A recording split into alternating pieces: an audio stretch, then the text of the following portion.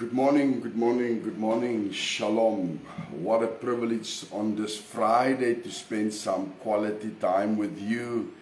Yes, selamat siang to all my Indonesian friends. my voice is becoming more better. I just felt this morning I really want to to minister on something just to so that we can hear the word of God. Amen. What a privilege this morning. I'm so excited. Lydia, goeiemôre.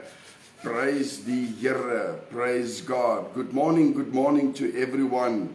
Yes, I thought of to take off today, but then yeah, the Spirit of God just lays something on my heart. Mariki. Mariki, hello, good morning oh, or selamat siang already afternoon in Indonesia. Yes, middag Mariki, praise God. Hallelujah. So yeah, it is Friday. Um, yeah, I went also this morning for the, I don't know if they call it the PCR test, but, but yeah, whatever. Let's sit around the word this morning. I just want to bless you with the words. You know, sometimes we know the truth, but sometimes it's hard to do the truth, if I can say that. Let's pray this morning and then I will share the word of God this morning. Amen. Heavenly Father, I thank you for this day.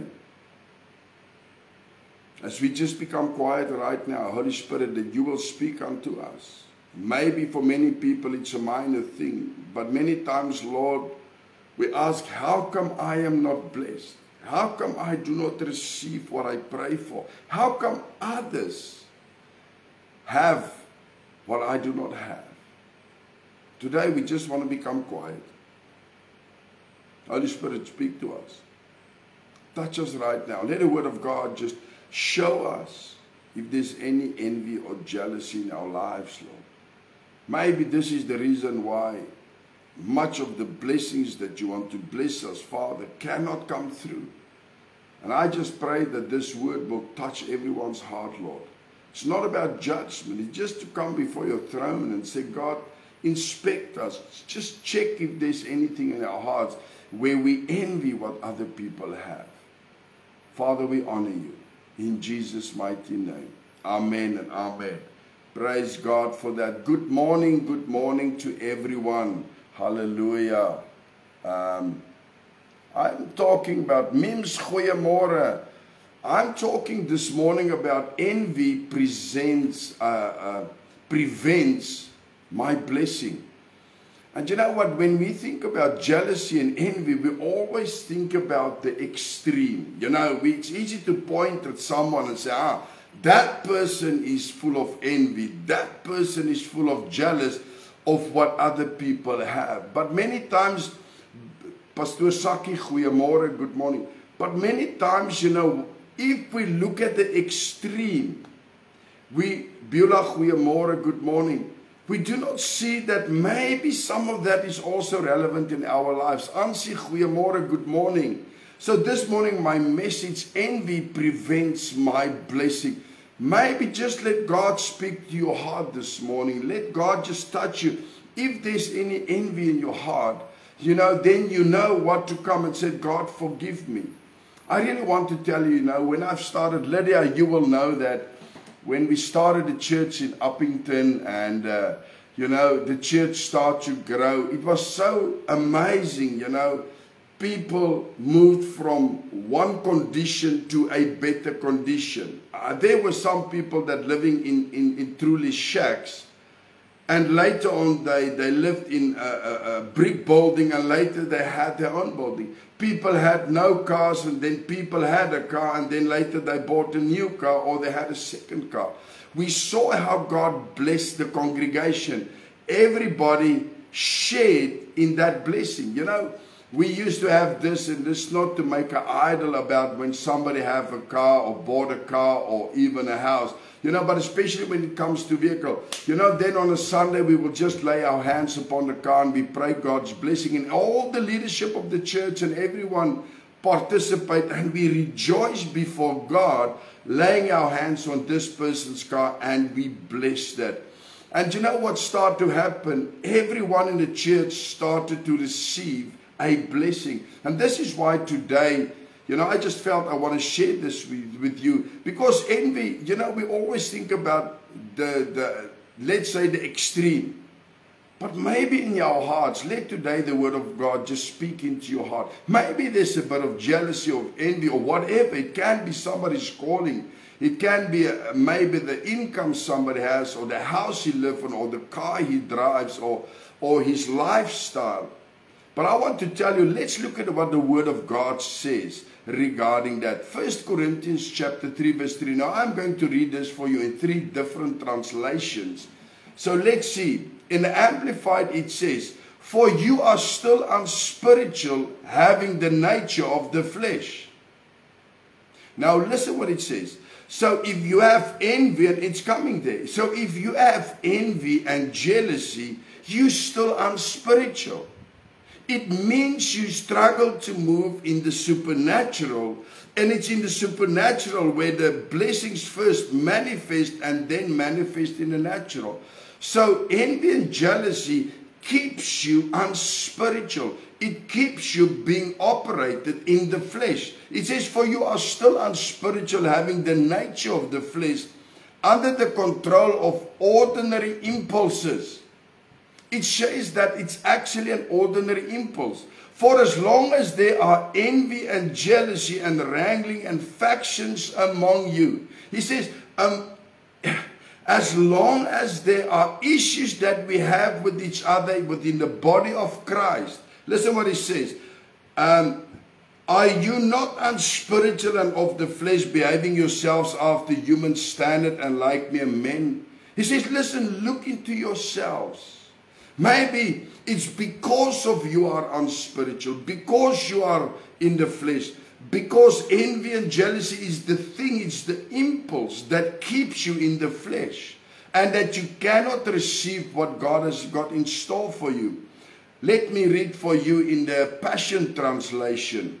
For you are living your lives dominated by the mindset of the flesh. So, in this scenario, in this uh, translation, it speaks that if you have envy and jealousy, you have the mindset of the flesh. While you cannot receive if you have the mindset of the flesh, because your reasoning and your impulses will be natural and according to the flesh. He said, Ask yourselves, is there jealousy among you? Just see, it brings every time that the mindset of the flesh that dominates comes from jealousy and envy. Therefore, he says, and this is the, the Passion Translation ask yourselves, is there jealousy among you? Do you compare yourself with others? Come on, don't be so holy this morning. How easily we can compare to others, especially if we really desire something and somebody else has that or get that. I mean, it's an impulse. It mean doesn't mean you walk in that every day. It's at that moment you saw your neighbor or maybe your your aunt or somebody you know bought the bakkie or the car or the thing that you really desire. It's an impulse. It's on the moment it happens. He says, Do you compare yourself with others? And you know what? How many people in the in the body of Christ compare themselves, especially when it comes with, to their calling, you know, and, and their anointing. They always want to be, they compare themselves to that person, but you have an, a unique anointing. God has placed something in you. It's something that you need to develop in association with God. But if you stay with envy, you stay in the flesh, you stay in the mindset of the flesh and you will not receive the blessing of God. Now he says, Do you quarrel? it's so amazing the passionate translation. He says, Ask yourself this Are there jealousy among you? Do you compare yourself with others? Do you quarrel like children and end up taking sides? If so, this only proves that you are living your life centered on yourselves. When you are life centered on yourself, you cannot receive the blessing of God. You close the door what God wants to bless you because you start to move in a carnal way. You know, And I want to I want to go with what God actually says how we should handle it. He says, He says, you are living your life centered on yourselves, dominated by the mindset of the flesh, and you behave like unbelievers. So, what is the main thing? The main thing is we are in the flesh, and if we are in the flesh, even if it's for a moment, we cannot receive what God has got in store for us. Let's, uh, let's read this in the message translation. As long as you grab for what makes you feel good, as long as you grab for what makes you feel good or makes you to look important, are you really much different than a babe at the breast, content only when everything's going your way? So, three different translations, but one message that envy and jealousy is impulses that keeps you in the flesh. And then you are not content when things is not going your way. So we see here that envy comes from fleshly impulses, meaning the following. It means it's not every day that you envy. But let's say today you hear the phone call and maybe your brother or somebody calls you and said, Hallelujah! You know, I, I bought a, a double cab bakkie or I bought a house you know, and then suddenly the impulse just arises. You have an opportunity to bless him and be happy with him. But the impulse, the carnal thing comes, and the moment it comes, you cancel actually what you desired and brought before God because you move in the flesh and you look at what happened to the friend or the family that's being blessed. And I want you to understand this today. A man may be in Christ truly regenerated and forgiving for his past sins and yet be carnal because this is an impulse. That is according to, I mean, if you read Romans 7 18, let's read. For I know that nothing good lives within the flesh of my fallen humanity. The longings to do what is right are within me, but willpower is not enough to accomplish that. It means that if there's envy, you are not happy for the person that receives something. And being not happy, meaning you cut yourself off what God can do for you for your desire. So, the best way to discover if, you know, um, to get over envy and jealousy is just test yourself. If somebody has something and you are waiting for that, maybe a new microwave, maybe a new bread machine or whatever. There's a desire in your heart, and somebody get that, and you not yet. You've been praying, you've been fasting, you've been seeking God.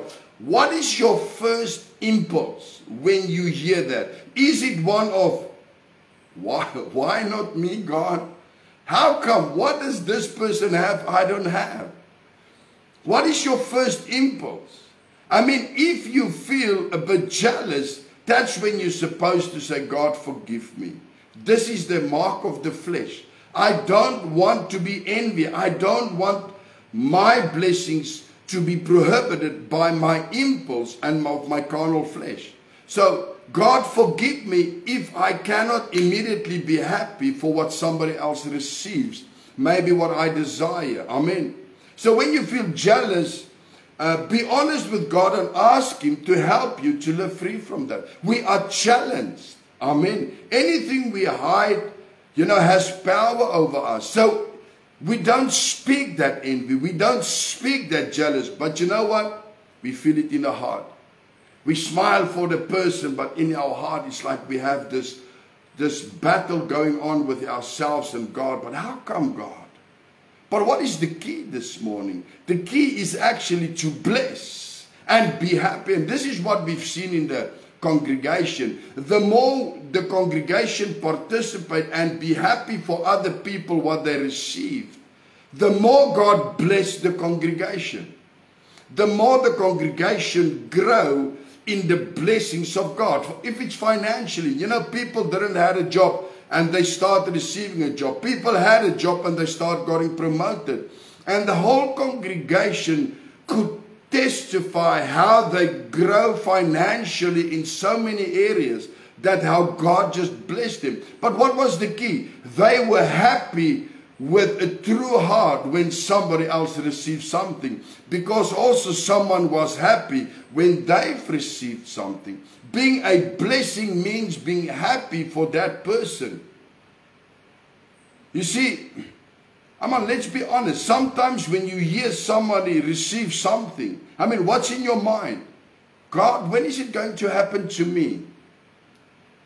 So when that thought enters into your mind, you you know, you have a choice. You can either in your heart have that envy and ask God why, or you can open up your mouth, take authority over what's in your heart, and say, I am happy for you. If God can do it for you, He can do it for me.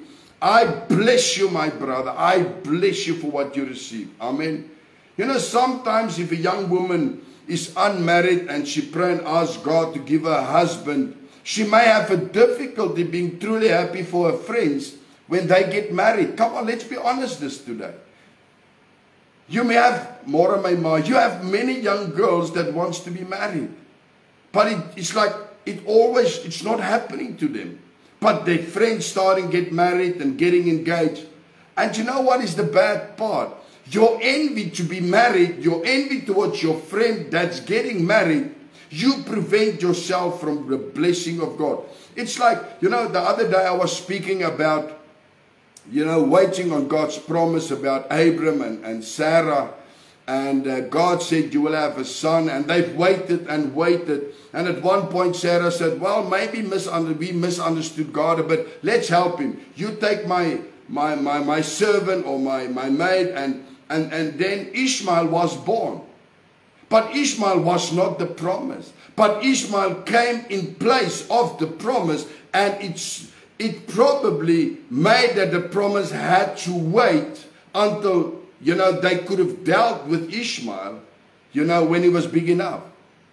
Sometimes our envy, you know, that thought that we have, that carnal impulse we have, makes us to pause what God wants to bless. God wants to send you your husband, but you've missed the test. You've missed the moment. If you've been happy for them and blessed them, you know what? I guarantee you God would have sent your husband already. Amen. I said, instead of being unhappy or jealous or envious, we all need to learn to be happy for others and let their blessings be an encouragement to us. What is the key today? When God bless someone else, let it encourage you. Don't change your encouragement with envy, even in your heart. Amen. We can believe that what God did for them, He can do for us. Amen. He did it, you know, for them how much more He can do it for you today. But it's the carnal. So the moment you envy, you move out of the spirit into a carnal impulse and you block what God wants to give you through your action. Amen. We should learn to pray for other people to be blessed. We should pray for God to do for them and we want Him to do for us. You know, when somebody receives something that you want, bless them, pray for them, release God's favor upon them, and you will see what God is going to do. You know, we live in difficult times, and you know, it's like many people feeling they're feeling more better if they can have something, you know, a desire. God made Pastor Marius, uh, good morning. You know, maybe, you know, we are under such an oppression of so many things. Maybe it's financial, maybe it's the situation, maybe it's safety. There are so many things that we are challenged today. And people are, you know, God, can, can I just have something so I can see that God loves me? Listen, God don't need to give you something to show his love for you. He already died on the cross for you. Pastor Marius, hello.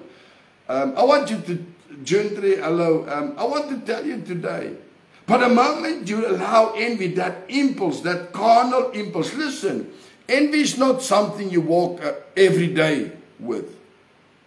Envy is that moment you hear somebody receive that you want, and then in your heart it's like, ah, God, what happened? How come? When it's my turn.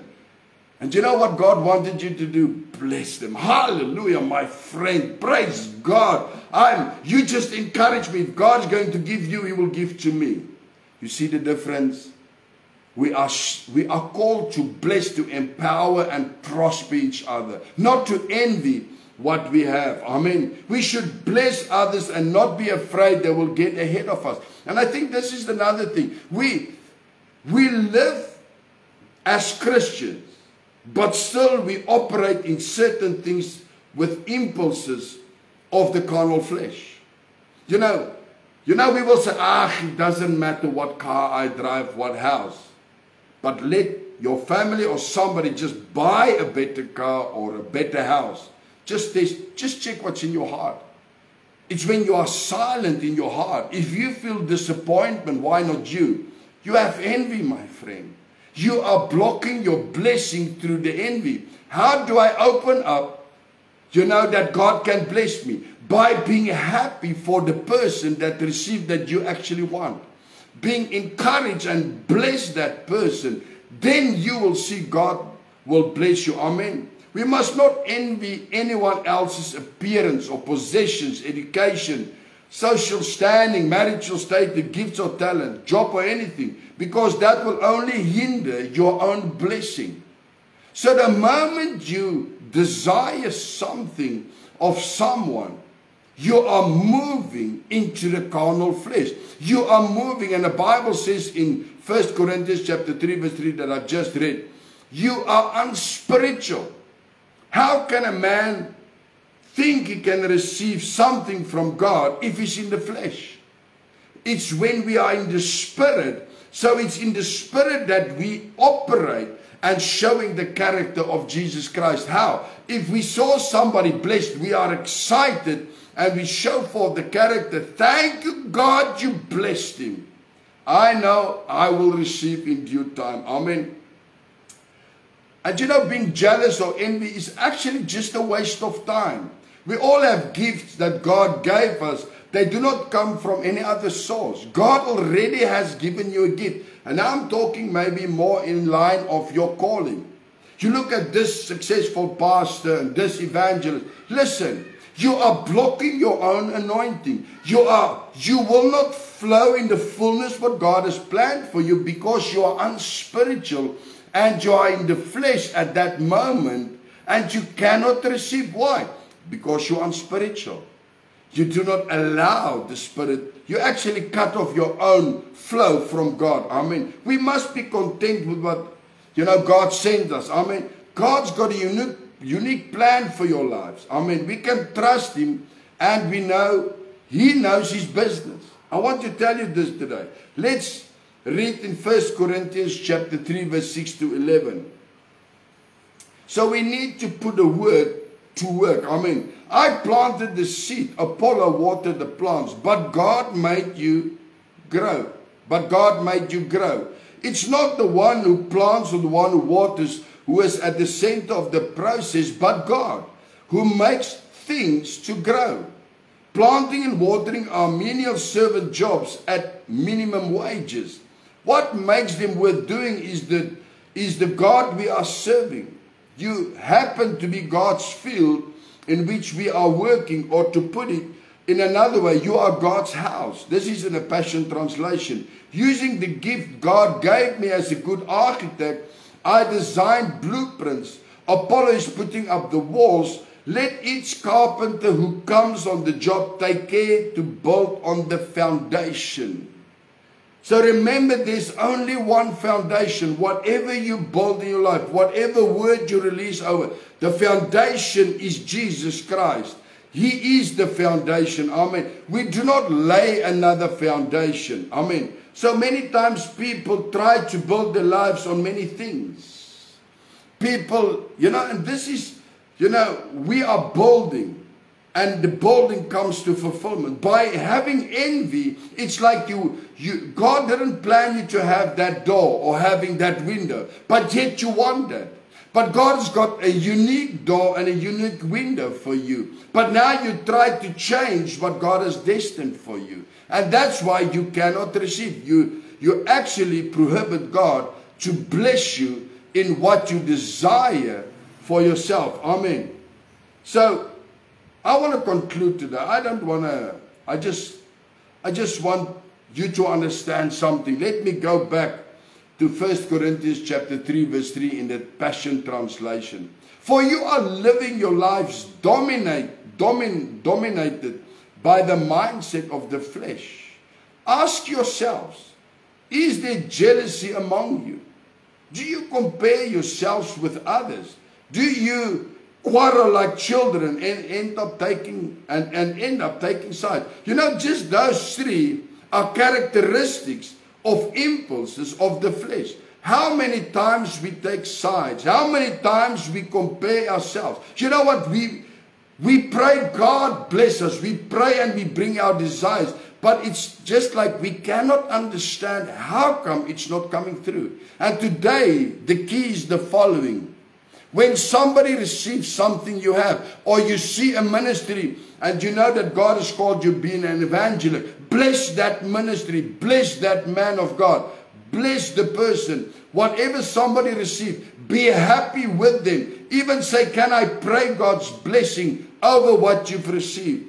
This is the way, this is the key, how God will start bless you. But if you start comparing, why not me, God? How come I did? What did I do wrong? You've done, you've done nothing wrong. Leona. You've done, the only thing, the only thing you've, you've done wrong, you for a moment had an impulse of, of the flesh. And that impulse made you not to be happy for what that person has received. It says, if so, this proves that you are living your life centered on yourself. So if you quarrel and taking sides, if you compare yourself to others, if you are jealous about what other people receives, your life is actually just centered upon yourselves. And that's why you struggle to receive God's blessing. Because it's like, gimme, gimme, gimme, gimme. And when you receive, you know what? That somebody is looking at you. Maybe you've received something somebody else has been praying for six months or one year or three years for. They've not yet received. Maybe you've prayed for two months. Maybe you've prayed, I want to go on holiday, and then you heard somebody else. Or maybe you go on holiday, but somebody else has been trusting God for finance for two years. But they excited with you for what you've received because in due time they will receive. But if you start to look and you you move in the flesh by wondering how come God can bless them, what do they do? What you do not have. You are actually envying. You are actually blocking. The Bible says actually you unspiritual. And that's why it cannot come. And I, I really encourage you in the beginning of this month, let's be a blessing unto people. Doesn't matter. Let's be a blessing unto people. When somebody receives his breakthrough, you excited with him, you pray with him, you bless him. If somebody already had a promotion, you just wait, but bless them. Be excited with them. You see, maybe somebody already start moving in their calling and God has opened a door. You just be happy with them. Bless them and you will receive how God will bless you. You will receive how God will bring into fulfillment your breakthrough, your blessing. But if you cannot, if even if you inside yourself, you don't even say it out loud, listen, God knows. If you in your heart says, but God, how come? How come? What they have, I don't. The only thing you do is you are self-centered. You want it now. But God's got so much better for you in store. And that's why I want to encourage you today. If you want to receive your blessing, get rid of envy. And if that impulse come, rebuke it and say, God, forgive me. For I felt an impulse of envy or jealousy when someone else received what I also wanted. I repent of that. God, help me that I can be happy. Let me a blessing unto them and bless them. Speak words of blessing over them. And you know what? You will see how soon your breakthrough will come. How soon God will bless you. How soon you will rise up out of your situation. And then you receive your blessing and someone else maybe also waited for a time, but let you when you receive being an encouragement to them. Amen. I would like to pray for you today. Father, I thank you for this word. Lord, sometimes we are born again, we are spirit filled, and we, we live this life to honor you and, and to live righteous. But he speaks here about impulses, Lord, a moment. Yet we bring our desires to you, and sometimes, Father, people receive what we've desired even before we've received that. We've been praying, Lord. And then in our hearts, in that moment, we felt, but why not me? When will I receive? And we're not really truly happy for that person. God, it's only because we have envy in our lives, jealousy. And we just want to repent today. Father, in every area where we envy people, what they've received, what we want, where we were jealous maybe of other people's success, Lord, or calling or financial, Lord, we repent, Lord. We pray today that the blood of Jesus will set us free, that we will rule. We will not be in this carnal or fleshly impulse, in this mindset of the flesh. Lord, that you will immediately, we will take authority. And the only way, Lord, is to be happy and to bless someone what they've received, what we want. And therefore, Lord, I just pray, wash us with your blood. Stir the gifts, Lord. Let us see in this month if we can, whatever we see people receive, being excited, knowing that our blessing is on its way. Father, with excitement and with joy, let's bless them. Father, help us in this month to look at the small things that can influence what in our relationship with you, Father.